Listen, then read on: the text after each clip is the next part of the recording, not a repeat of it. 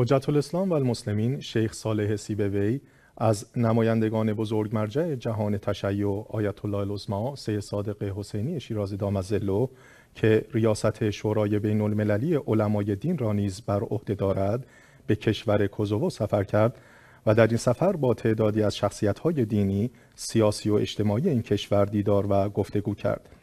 گفته می شود سفر مذکور بی سابقه بوده و در دیدارهای انجام شده بر عظمت و اهمیت گفتگوی بین ادیان و دوری از خشونت و افرادگرایی تاکید شد. حجت الاسلام و المسلمین سیبوی بعد از انجام این سفر تاریخی به کوزوو در گفتگوی اختصاصی با خبرگزاری اخبارشیه گفت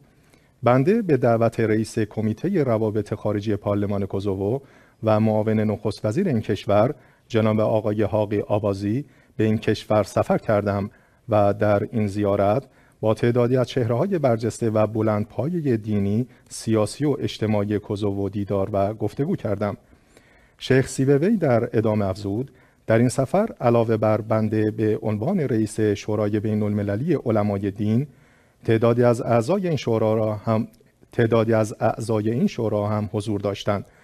سفر ما مورد استقبال شدید مسئولان جمهوری کوزوو قرار گرفت و به آن اهمیت ویژه‌ای دادند.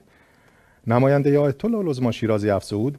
در این سفر علاوه بر دیدار با رئیس کمیته روابط خارجی پارلمان کوزوو و معاون نخست وزیر این کشور جناب آقای حاقی آوازی دیداری بین ما و سرکار خانم عاطفه یحیی آقا رئیس جمهور سابقه سابق کوزوو نیز در دفتر پارلمانیش در پایتخت کوزوو صورت گرفت.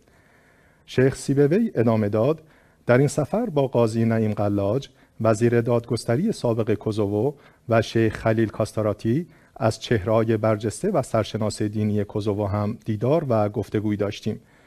گفتنی است در این سفر مهم شیخ سیبوی با حسین الحسینی چهره سرشناس قدیمی ترین اقلیت یهودی کوزوو نیز دیدار و گفتگوی داشت. و به او پیشنهاد عضویت در شورای بین المللی علمای دین را داد.